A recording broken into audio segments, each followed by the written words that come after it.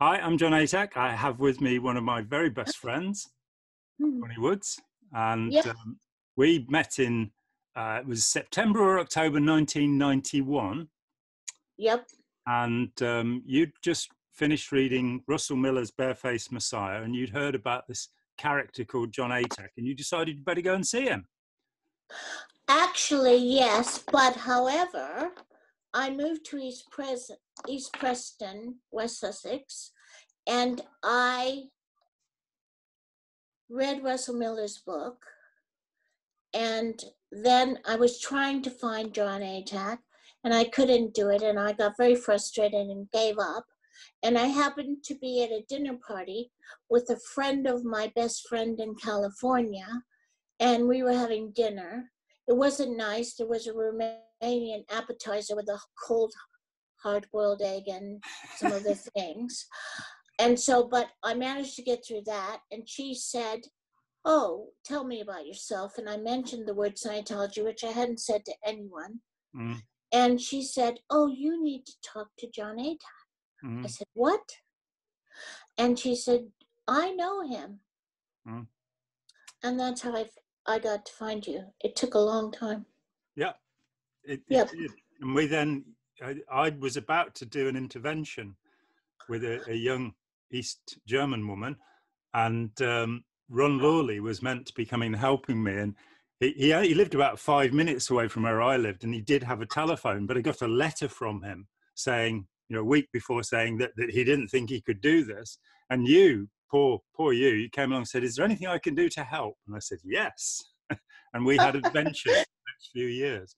So We I did. to talk to you today about um, a little bit about your background and then how you became involved in Scientology those several years. Okay.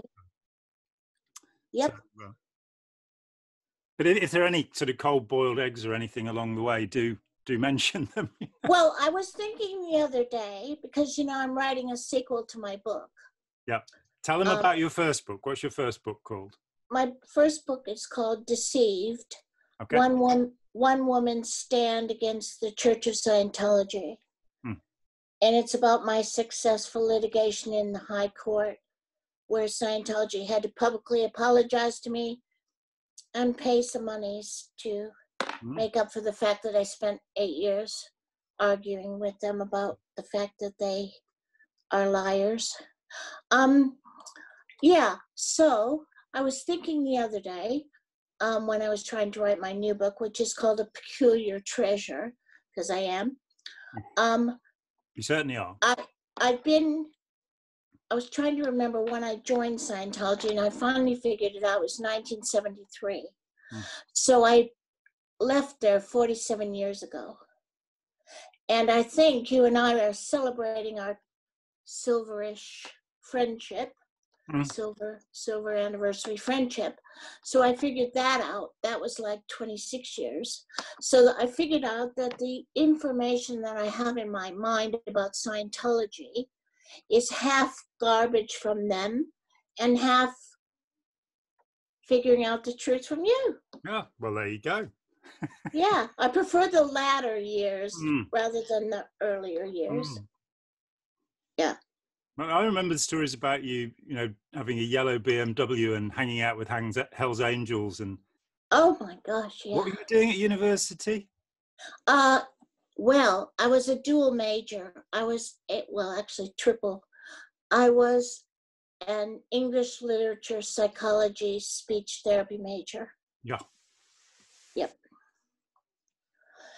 And I met a man called Larry Kincaid, and he had a, well, that's a that's a very dangerous part of my life. So I will just say that Larry tried to persuade me to read a book called Dianetics, the Modern Science of Mental Health. Mm. And I did, and I said, This is the worst book I've ever read. I said, The writing style is so turgid, Mm. and this can't possibly be worth anything. Mm. And he said, But I've always wanted to go down and go to that organization and talk to them about this wonderful therapy. but he smoked a lot of dope, so I really didn't pay much attention to that. But he, He couldn't find his way to the organization, consequently. well, I was hoping not. However, on a, in a more lucid moment, he said on Saturday morning, let's go down to this organization in St. Louis. So I said, fine. So we went in there and they gave us a personality test, which was absolutely useless. And they had me listen to an introductory lecture. And I happened to be a psychology major in the master's program across the street because I taught special education children and they let me audit the courses there at the university. So when they found out that, they got so aggressive. Oh, hmm. That was not a popular thing for me to have told them. So I said, Oh, huh? Say what? you were a psych. Exactly. And so they started saying all these disparaging remarks about my choice of major. And I thought, whatever.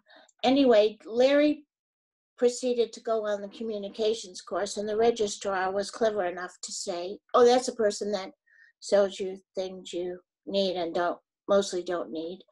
Um, so she said, Oh, your boyfriend's gone on the course. So I thought, Oh, I better go see what he's up to.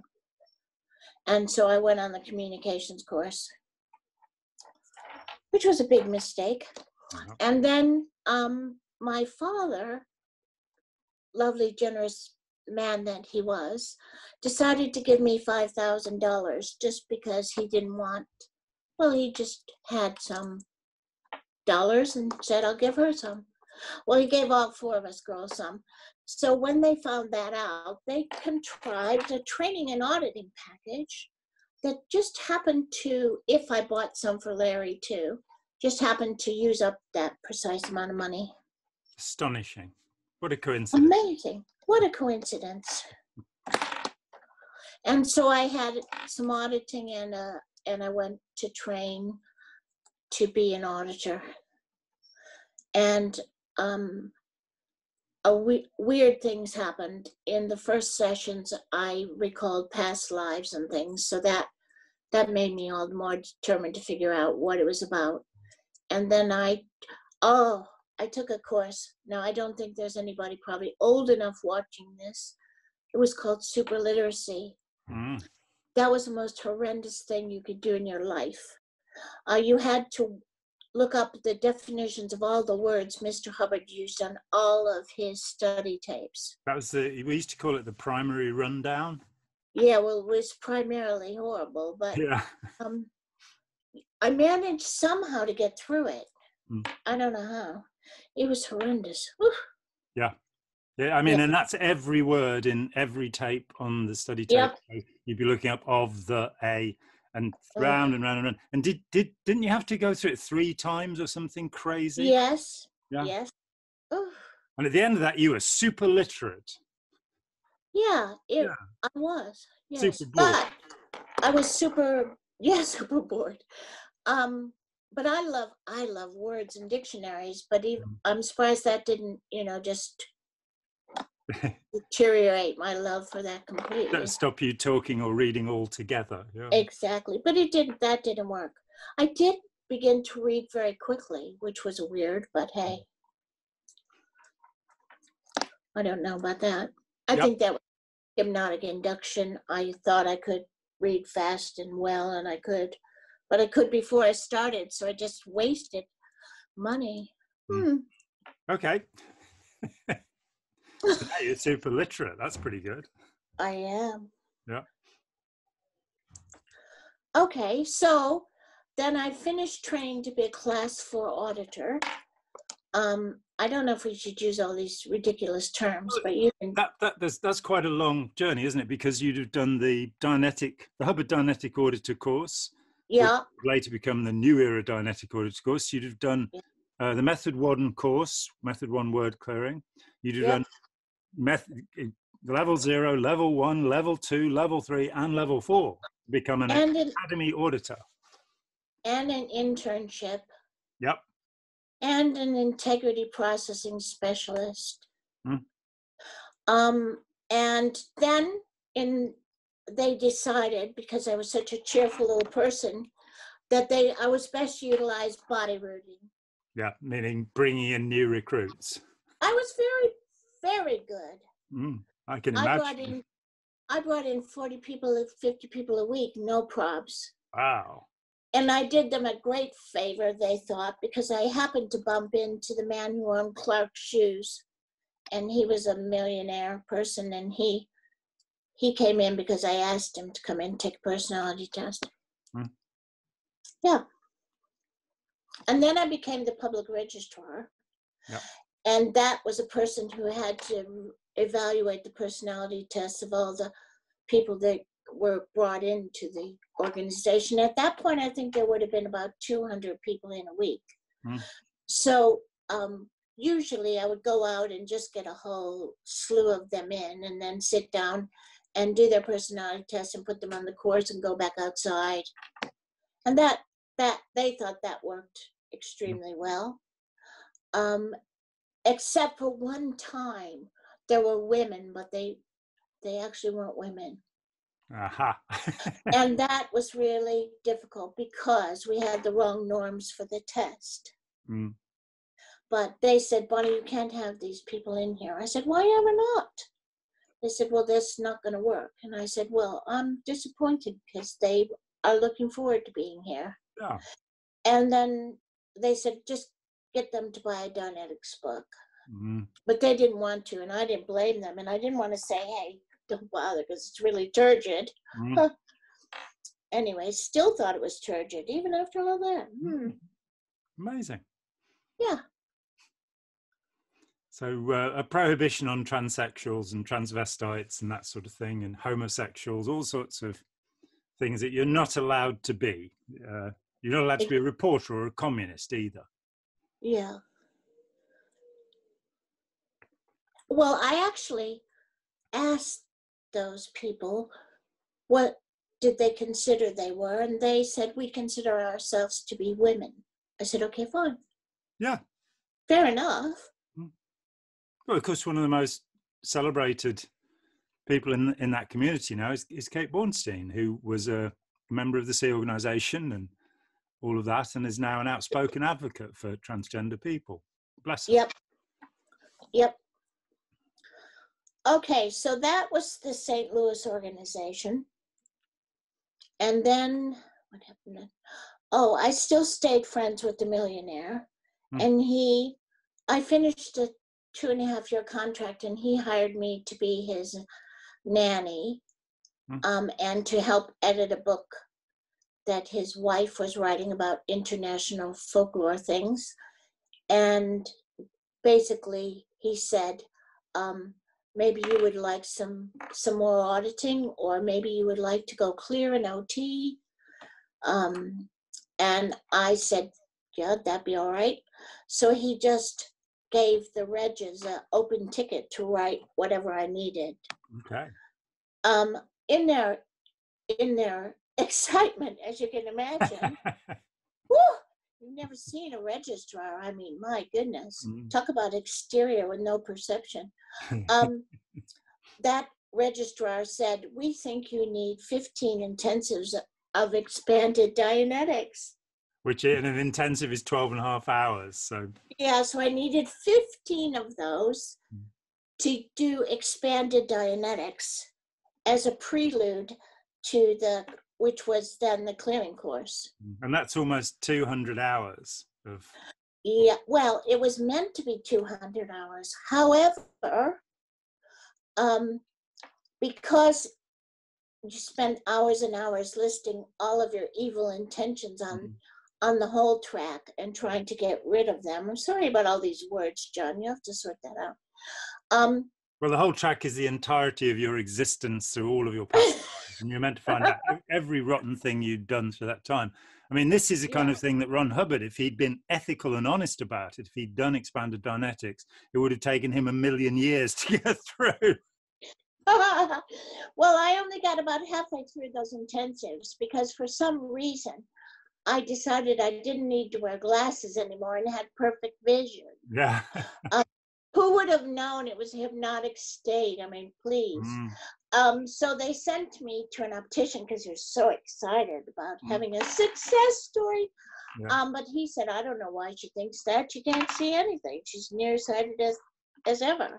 Now, I, I Um, let so me the- interject a little story at that point. Helen O'Brien, Okay. who was Helen O'Brien was the head of the Hubbard Association of Scientologists from 1952 into 1953.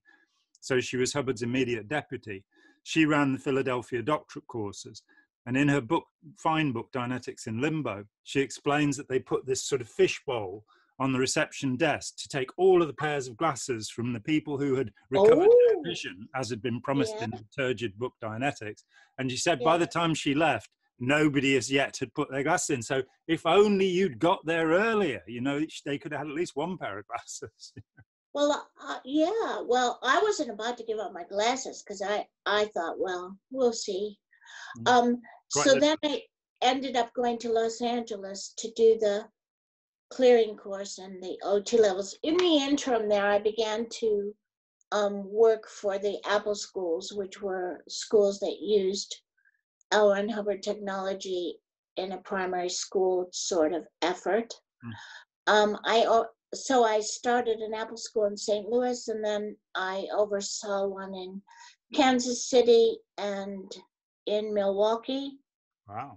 and my own. So I was doing that, and then I went to do my clearing and OT levels. I don't know what year that was. Let me Mm. look at my timeline. Uh, and let's just interject that OT levels are operating thetan levels, which uh, allegedly teach you to leave your body and perform miracles at will. Uh, as yet, nobody's actually demonstrated this, but heck, it's early days. It's only been about 60 years. You know.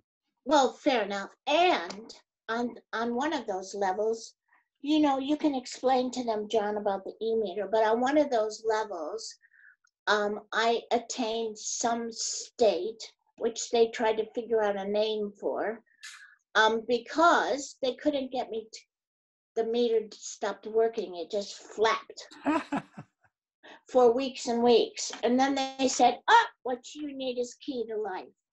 So then I put, I went on the key to life course, which was really quite bizarre. And then that needle still flapped and flapped. So eventually they gave me some amazing certificate and said, oh, you're at some level we're not familiar with. I said, well, that's been going on since I was born.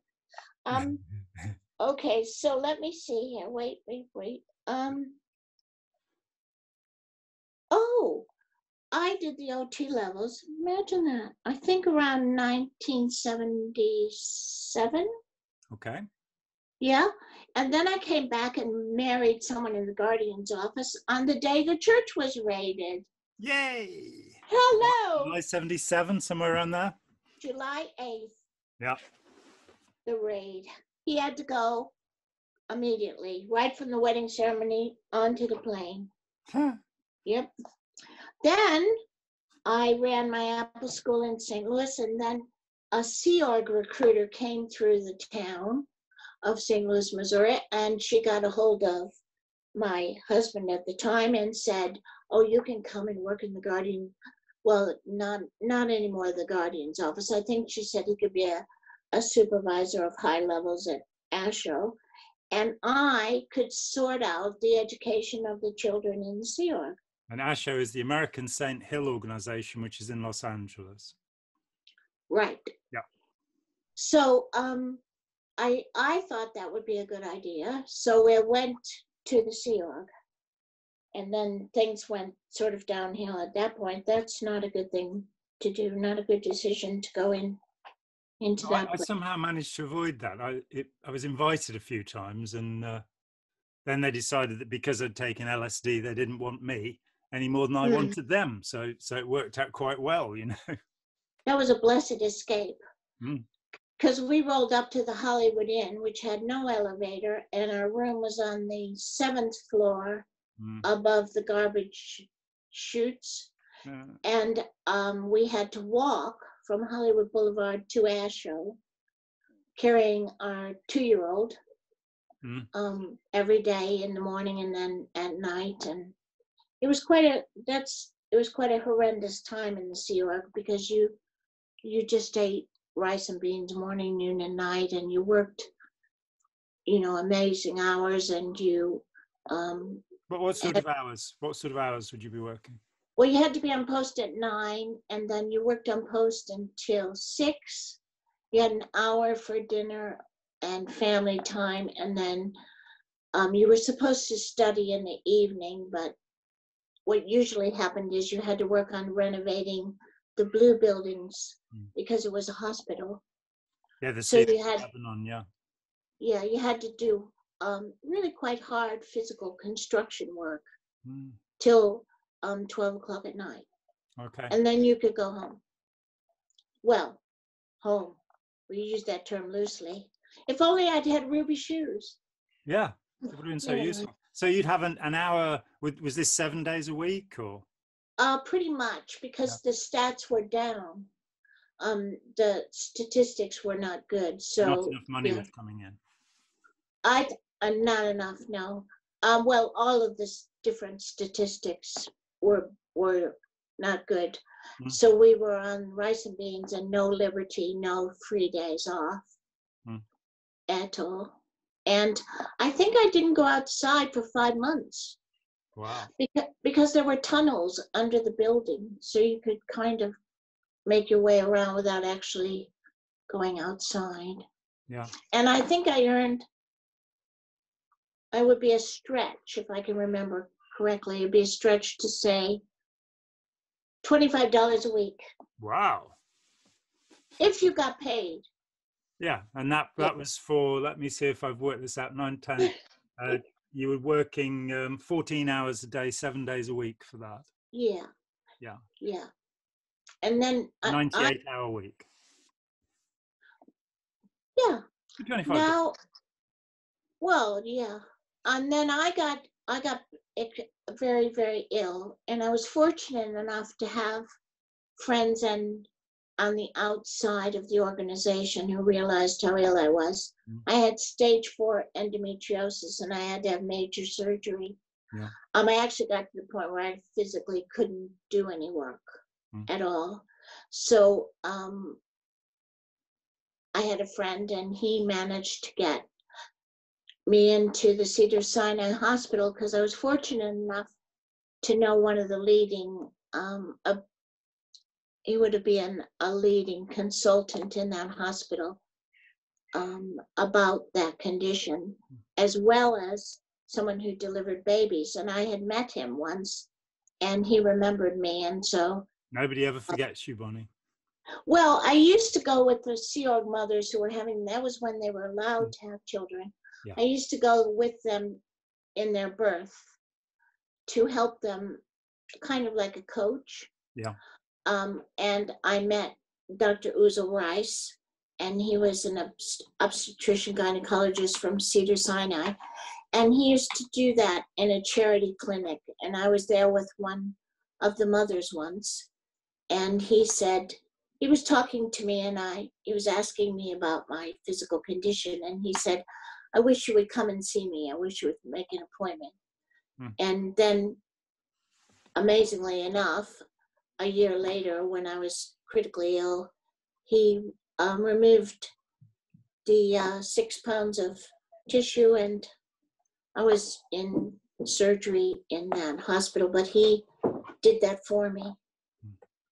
which was quite amazing, really. Oh, I'm glad he did. Yeah. Yeah.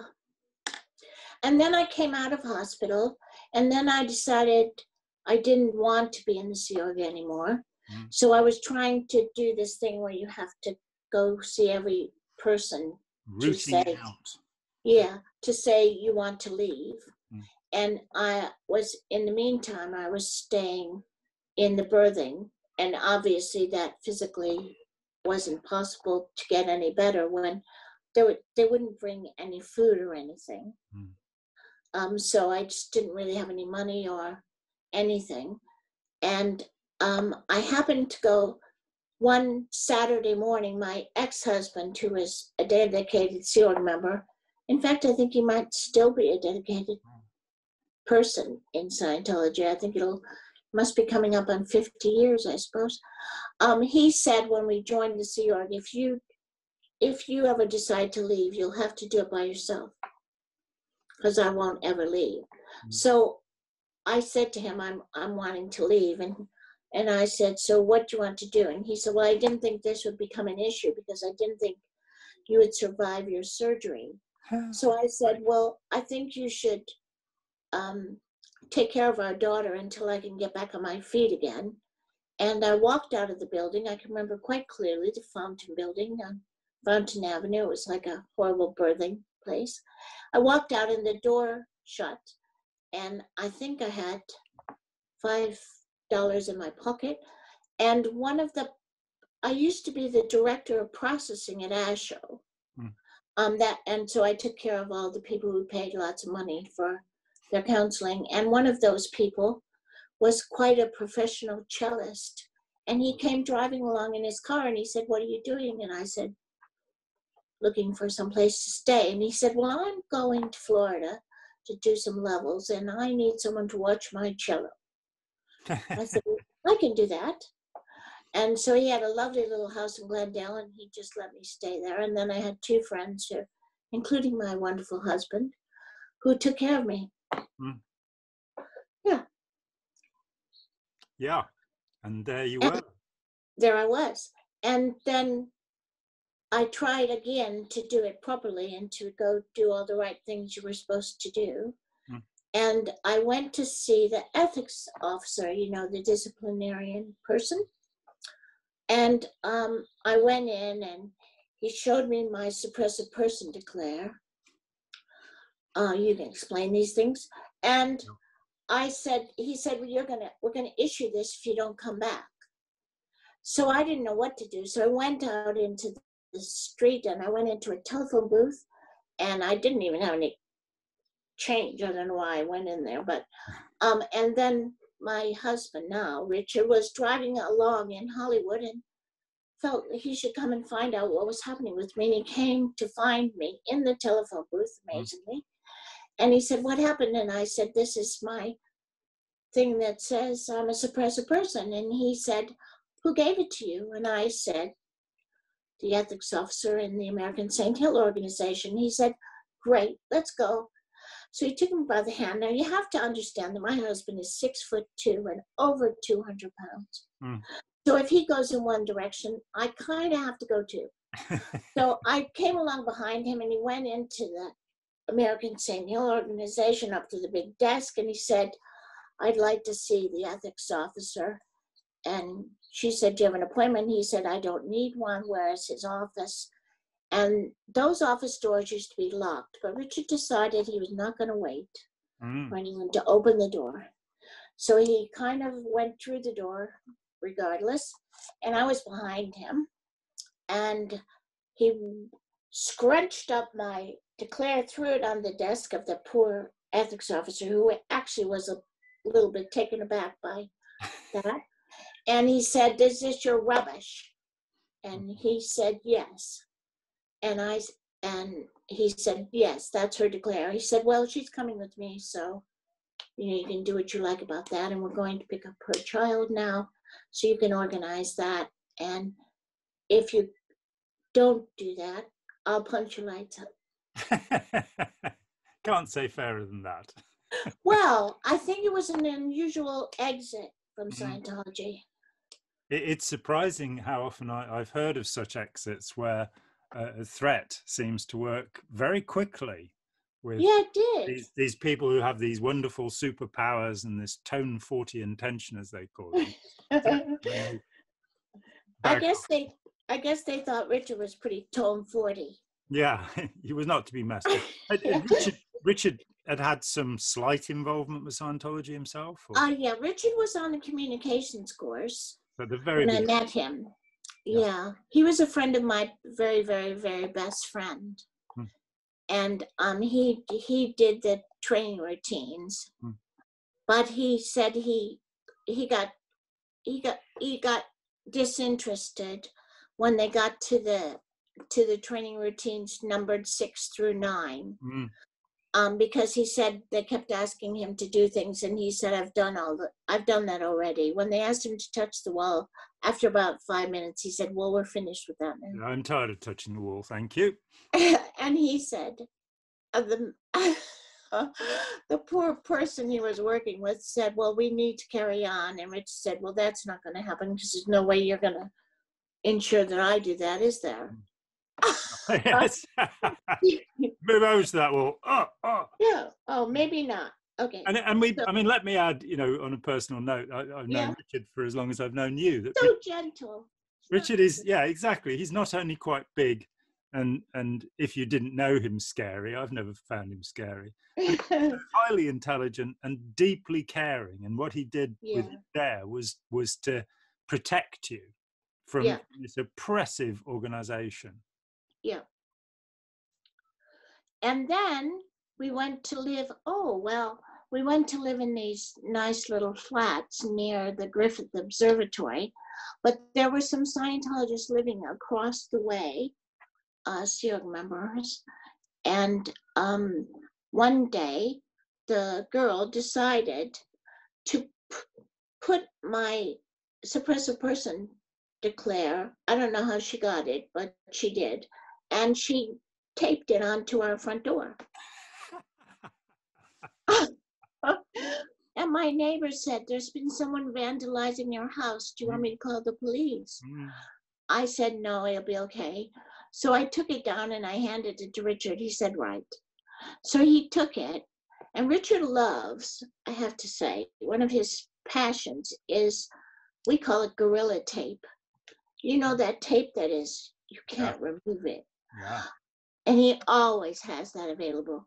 So he went over to the flat, knocked on the door, and he said, um, he took it and wrote on the back of it, um, "Is this your?" I think he said rubbish. Hmm. I told him to say garbage because he wouldn't get it, but Yeah. He's English. um, he taped it onto her front door, and he said, "Don't. I wouldn't recommend that we have any more attempts at this sort of thing." Mm, And then he told our landlord, and he made them move. yeah. Fair enough. Fair Sounds- enough. Yeah. So then um, Richard wanted to go to England. Oh, in the meantime, I got pregnant with my beautiful Andriana Edith Ruby, who's a policewoman. Yep. Um, watch out, everybody. yeah, she's tough like her mom. Um, and um, I had 36 hours of labor, absolutely silent. Mm. So Katie Holmes, move over. Yeah. Yeah. 36 hours of silence. Shoosh. Anyway, then we then Richard came home from work one day. He's a carpenter and a builder, and he said, um, "My contractor isn't going to do any more with us at the moment." And he said, "Would you like to go to Worthing?" I said, "Well, where is it?" Yeah. And he showed me on the map, and he said, "We need to go, and we'll probably need to get married." And I said, "Whoa, wait on." Um, but I said, done that. I didn't like it.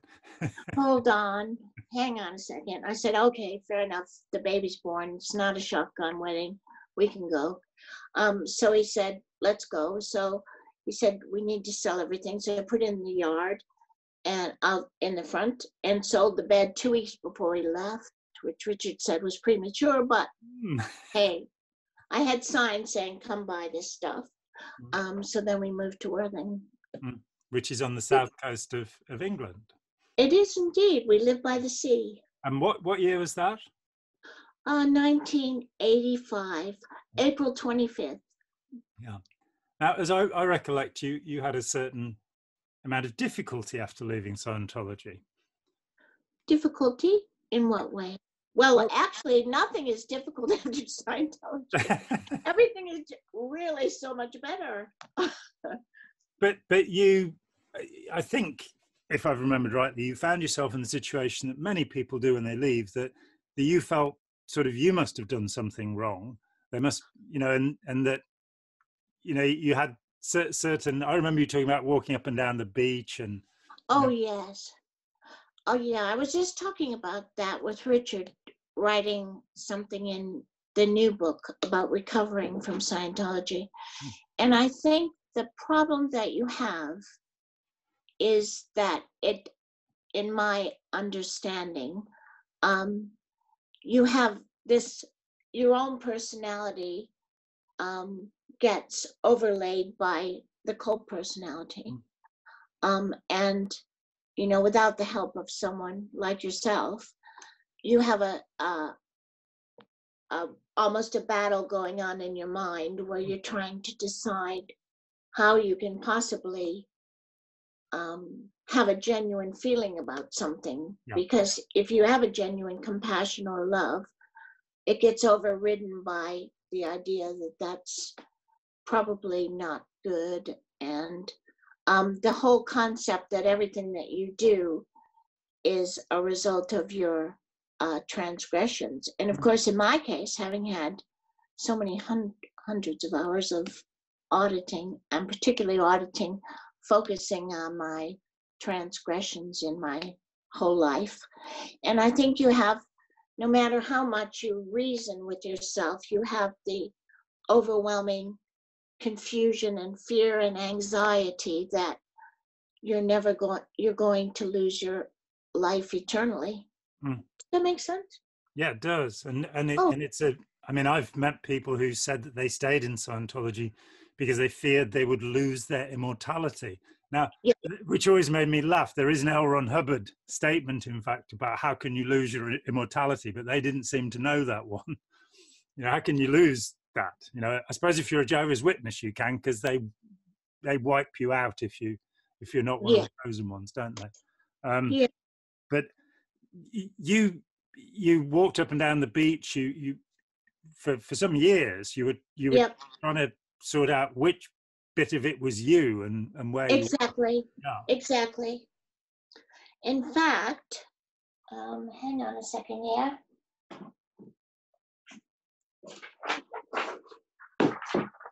In my book, I like to quote Alice because I'm hoping that they will remember things that Alice said that might cause them to think. A- And it's worth Um, noticing noting that, that one of Scientology's most ferocious critics, Martin Gardner, also annotated the Alice books as a mathematician, explaining you know the depth and profundity of these books, which is tremendous. But. Ron Um, Hubbard used them in training drills, so you'd read lines from them. Like my mum said that when she first walked into a into the Scientology mission in Birmingham, first thing she heard was somebody going, "Off with her head." So, There's I can obviously the place for her, you know.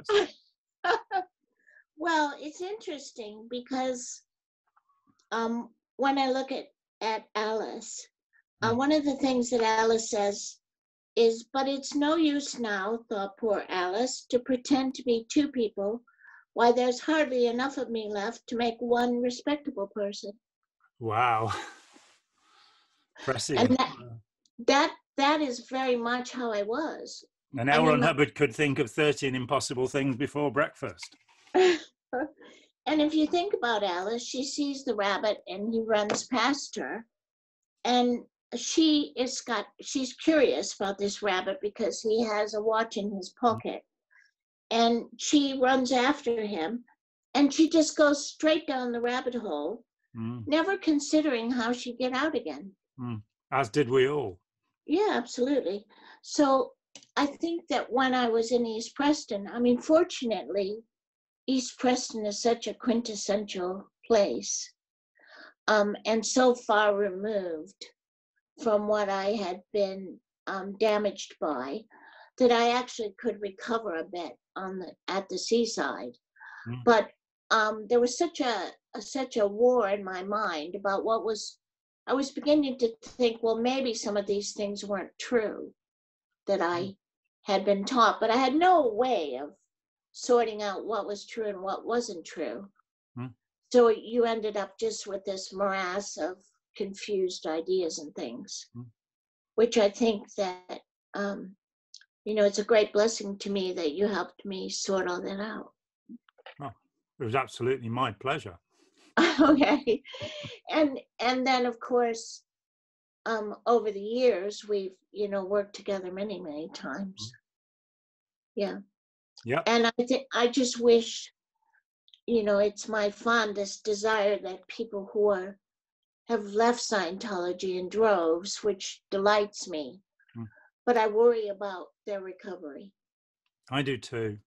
yeah You know, I, I mean, as you know, I was steamrolled into uh, withdrawal by 1996 be- because yeah. it was just nothing left. My physical health was gone, my marriage was gone, I'd gone bankrupt, and the system was not going to protect me in any way. And so I, ha- I had to withdraw. But in 2013, I realized that it didn't, you know, people would leave Scientology, they'd not become involved with the independents or anything like that, and they'd believe that it was gone from their lives. Yeah. And it wasn't because they hadn't actually looked at what I call the implants of Scientology, the way that yeah. ideas are pushed into you, which will remain afterwards, and people will. The, the, significant and central problem is that Scientology is a way of cloning Ron Hubbard. It's a way of yeah turning somebody into a malignant narcissist who will be completely selfish and have no care for anybody but themselves and their own superpowers. And mm. parts of that remain, and, and you have to address it. You have to say, what do I now believe? And it's not a matter of sitting down and having thousands of hours of counseling to undo it. It's usually a matter of just getting that first step where you say, that doesn't make sense. That thing I've been taught about the eight dynamics, you know, as a way of evaluating how to live my life, it doesn't work. It's nonsense. And when somebody's made that baby step, they can keep on challenging. I remember when I first met um, Cyril Vosper, who I came to to know very well over the years and, and to like very much. He wrote a book called The Mind Benders. He spent 14 years in Scientology. He met L. Ron Hubbard on a number of occasions. But he he said to me when we first met that he'd still 14 years or so after leaving, 16 years after leaving, in fact, he still would find himself crossing the street and wondering if he'd just committed an overt.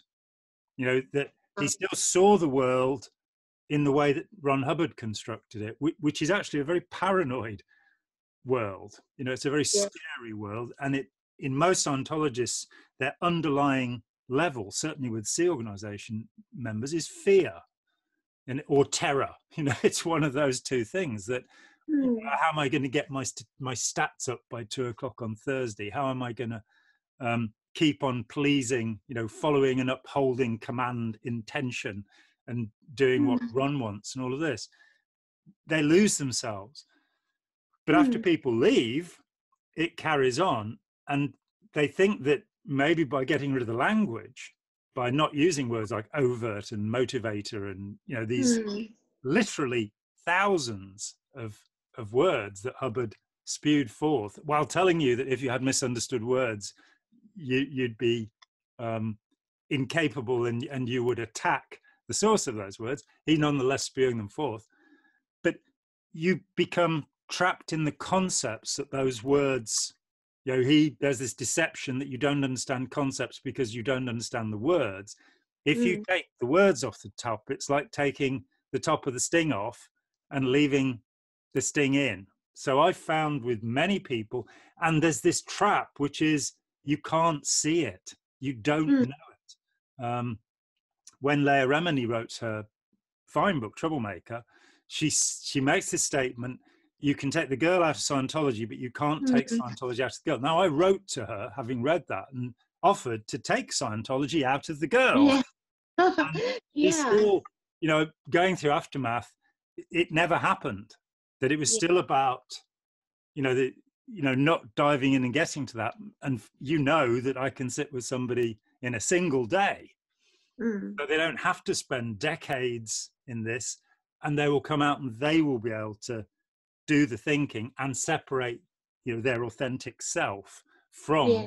the programming or which word i don't like the implanting that hubbard put in there so it, it becomes very complicated i think that um, when i was living in east preston shortly before i met you um, before we moved to um, east grinstead um, i my mother passed away in america and i I think that I think that a trauma like that, um, I was thousands of miles away and I had to get home. And when I came back, I was Richard would have to take the phone away from me because I was really convinced I could just call her.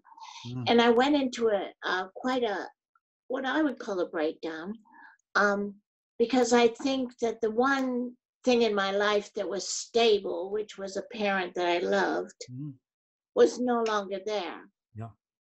Both parents were gone. So that that kind of must have represented to me all the stability I had in my mind was from their influence on my life. Mm. And now they're gone. So now all I have left is this shattered remnant of this bizarre philosophy. Mm. So, and trying to sort it out was impossible. So I would just walk from East Preston to the next town of Rustington, and I would just walk up and down the beach. And I would go to the library, take out seven novels, read them, and take them back. And that went on for a month. And hmm. I just read novel after novel after novel. And then I could actually became so unwilling to go outside the house. I could actually go in our little toilet room and downstairs and get between the toilet and the wall, trying to find a place that would have boundaries on it. It Mm. was that serious. Yeah, I mean, it's And- that's, that's strange because it reminds me of uh, when I first met um, the famous, the notorious Captain Bill Robertson, and Bill had been he'd been a Mississippi um, motorcycle cop during the Yeah. civil rights movement. So who knows what he was up to then? He then Yeah. in the early '60s. He rose through the ranks to become, in fact, the, organization of Scientology was L. Ron Hubbard Commodore, Mary Sue Hubbard Deputy Commodore, Captain Bill Robertson Second Deputy Commodore. So he he was right at the top. In 1982, he was hurled out, and I met him in 1983, and I got this story originally from a friend of his whose house he'd gone to, that Bill had asked for the smallest room in the house. Hmm. Yeah, but that's that's not good enough. And Bill was a big guy. He, he was six three or something, six four, and he said, you know, did he have a closet that he could? And he ended up spending yeah. time inside a Yeah. wardrobe because that was as much space as he could deal with. Yeah. And it's interesting to me that when I was involved in litigation, because as you know, we were in litigation with Scientology um, for seven years, Mm. uh, litigating in person for um, five of them, I guess. We had 27 interlocutories. Um, at, just as we approached the final stage, which um, my Queen's Counsel said I would have been on the stand for 19 days. Yeah. Um, I I actually that kind of consequence, and by this point, you know, I knew everything that I needed to know Mm. to eradicate the damaging effects of it, at least from the perspective of sorting out what was true and what was pernicious lies. Yeah. Um, but I went to a, a Christian retreat, and Richard and Adriana were quite concerned because they gave me a little tiny room. I Mm. mean, it was literally a bed and a desk, Yeah. and the walls. were- They had made lots of rooms, very very small. Mm. That was the best thing ever. Yeah. And and again, I went down on the chines in Bournemouth to the sea and walked back and forth on the seafront for days Mm. till I could get my head around the idea that I could finish this litigation and be on the stand. Mm. But but then of of course I wanted a public apology Mm. for the defamation of my life. Mm. and um, they didn't want to give an apology, but then I said, well, then we'll, we'll just go to court. Mm. At this point, they had already dropped all of their um, counterclaims against me Yep. because um, I had won the right to see their levels material in discovery. we pushed to have the OT levels put into Discovery, but it, Yeah. that- it wasn't a counterclaim. They filed the original suit against Yeah. you. Yours yeah, they did. Yeah. So they're having Yeah. been intimately involved with that litigation. Yeah. Um, and there was so much litigation because it wasn't just the libel action and then um, my solicitors uh, put forth a counteraction, and then they were suing. Narconon was suing me. It was ridiculous at one point. Narconon was suing me. I think I got up to ten cases in the end. yeah, it's I, ridiculous. I don't remember how many. But at the when we got to the hearing where um, we were, my young barrister um, was asking for the. She was wanting to prove that what I had said in the leaflet, uh, what the Scientologists don't tell you. she was. They were insisting that I prove every sentence of it to be true, and she Mhm. said we need these materials to prove that Scientology is a bogus and counterfeit religion, which is our favorite slogan. Um, and so um, we were the when you get to that level, the um, the master who's hearing that particular hearing tells you ahead of time what his result, what he feels he's going to rule. Mm. He does that in, because they're very keen, obviously, at interlocutories to have people settle it so that it doesn't become a, a burden on the court. So he told ourselves and my young barrister and the QCs from Gray's Inn that were always keen to help us. And they said um, to myself and, and to Scientology's uh, solicitor, Peter Hodkin, and their counsel, Nathan, that he was going to rule that I could have those materials. Mm. So they ran out in the hallway. They wanted a, a, a you know, a time to talk about this or something. Anyway, I love that master because he said, "Well, I'll give you um, a half an hour." He said because the media are very, you know, they're getting very restless. Well, the media court. he was referring to were there for Stephen Lawrence's case, nothing to do with Mm. But I think he enjoyed kind of ruffling their feathers. Yeah. So they came out into the hallway, and Nathan called Alexandra over and said, um, "Did I want to settle? And did I want to?" I think they wanted to give me twenty thousand and, you know, drop everything and whatever.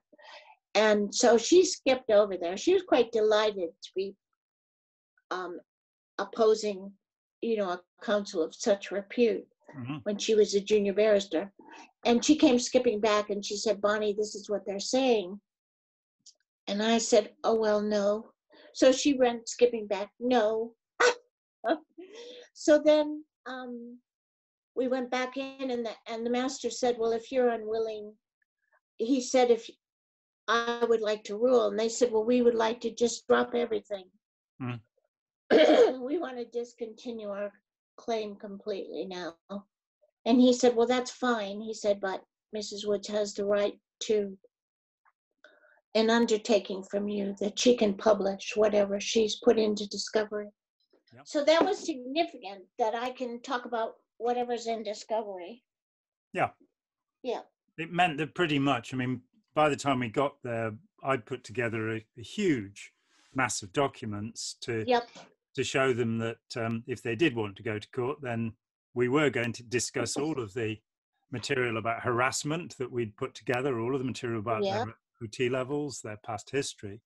And it meant that Yeah. pretty much you and Richard had carte blanche to say whatever you liked about Scientology. Yep. And your own lawyer legal team really didn't expect that they'd be willing to sign such a thing, but they were desperate to Absolutely get out of court. because there were little prepositions in the undertaking, um, you know, that I could talk about all of things. Mm. And, you know, there she's she was surprised. She Mm. said, uh, Bonnie, I'm not even sure that she said I've written it as broad as I could possibly conceive. She said, so that you have total freedom to communicate about whatever you've done in this litigation. And she said she was absolutely, she was just gobsmacked that they Hmm. signed the undertaking. And they made a, an apology in, in court. Mm-hmm. Yep. Yep. Then they went and told the media that it was out of the kindness of their heart because of suffering that they'd withdrawn. Yeah. Yeah. I think the major newspapers like the Times and stuff found that quite amusing. Mm. you know, considering. I was very keen to have the apology more than anything else. I think that's what kept me going through the litigation, although there were times when it was desperately hard to litigate yeah. in the High Court, specifically as litigants in person. Yeah. Um, but what kept me going was the idea that they would have to apologize hmm. for what they'd done. Hmm. I mean, um, um what was and and eventually Allen and Overy came in and saved the day, and so you had one of the top yeah. firms in the world. I mean, when we yeah. we were so impressed with um, Alexandra's work that that my brother yes. said, "Well, how much does she charge an hour?" yeah. And it was four hundred and twenty pounds an hour. so, yeah, I think they. I think we've, I think at the end, um, Allen and Overy were working pro bono, hmm. um, because unbeknownst to us, um, there were some wonderful anonymous people demonstrating that. And there was a wonderful character called Dave Bird. Yeah, and he, he had some connection to Liberty. And so he had said to me, Bonnie, I'm going to write to Liberty on your behalf. Mm. And Liberty wrote to us and they said, we, re- we really would love to help you. However, we're not a large enough organization to take on such a litigant as the Church of Scientology. And Liberty is sort of like the ACLU in, in yeah. well, tiny. Well, Richard and I thought that was hysterical because it was just him and me. yeah. and then a word processor and some books from the law books from the library. Mm. Um, but um, what happened then was interesting to me because he did write to Liberty, and then we thought nothing of it. And then um, one day, there, um, I got a letter in the post, and it just said Allen and Overy, and it said, "Mrs. Woods, could you call us, please?" Mm. And it just had a uh, the name of my um, wonderful solicitor, Sharon, at the bottom of the letter. Mm. So I thought it was Scientology winding me up. Hmm. so I I asked our friend Ron Lawley, yep. and I said, um, I think this is just a wind up. He said, Well, I don't know. I'll, you can try and find out. And he came back. He said, Well, it's an actual law firm. Mm. And I said, Well, that doesn't mean it's real, you know. So I went up to London to um, visit a friend in King's Hospital, and I said to Richard, I'm going to go over and see where it is. And I came out of King's, and there was a big double decker bus waiting and it said St. Paul's on it. And I knew that Allen Overy was across the street. So I went up to the bus driver. He had no one on the bus. And I said, I'm trying to get to this address. He said, Oh, I'm on the other end of my route. So he said, Why don't you come with me? He said, and I'm going back that way. Mm. So I'm riding along this big bus, and he said, I'll just pull around there so you can get off. And I got out and I looked at it and I thought, well, it does exist. But I still didn't go in. But then when I got home, Richard said, oh, for heaven's sake, give me the phone. Hmm. So then I called and then Sharon answered her extension and she said, oh, thank you for calling. And she said, would you mind if we represented you? Oh. she said, we heard about your case from a panel that we're on. Once a year, they have a pro bono panel where they pick cases, the major law firms each pick a case that they believe represents civil liberties, and they had just finished a section of that section of cases about death row cases mm. in America, and they were looking for a different sort of approach. So that was why I had so many people available because a memo would go out to the 1500 staff at Allen Overy. Did anyone want to work on a pro bono action? um, because they like to have that on their CV. So she said, "Do you mind if I call Mr. Hodkin and ask him to direct your correspondent, his correspondence to you to us?" Yeah. I wish that had been, you know, that was a conversation I would have liked to heard. Mm-hmm. And she called back later and she said, "Well, that was very interesting, Bonnie." She said, "I called him and he thought I was calling in regards to litigation they were involved with concerning ITV and those horrendous commercials." Mm-hmm. Um, and she she said, "No, Mr. Hodkin, actually, I'm calling on behalf of Mrs. Woods." And she said, "He doesn't say a lot. She said, I didn't get to know him very well. I said, Why? She said, All there was was a sharp intake of breath. Mm. So that was, I mean, that was amazing, really, what they Hmm. did. Because we were definitely on our knees by the 27th interlocutory. Yeah, I, I remember it well. Uh, uh, we had many a phone conversation along the way. yeah, you you had to have a lot of super glue in those days. Mm. Put that girl back together. Yep, but we made it. And Yeah. this is perhaps a, a good time to stop this particular interlocutory. And, Yeah. um, you know, we'll maybe pick up somewhere else and talk about Okay. 1007 other things that, that okay. and Okay. just let me say that it, as, as always, it's been a, a great, great pleasure talking with you. And, Oh, um, uh, it's one of the one of the things I look forward to most is having a chat. Yeah, absolutely.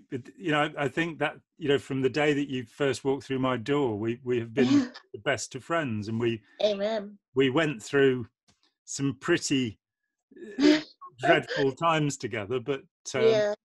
we always had you know ginger ice cream and Yep. and uh, the AA Milne stories to to keep us going somehow. Absolutely. Absolutely. okay, so this has been been my my lovely guest Bonnie Woods, and um, uh, I thank you very much for for for being with me here. Thanks well, a lot. thank you for having me. Yep. Bye.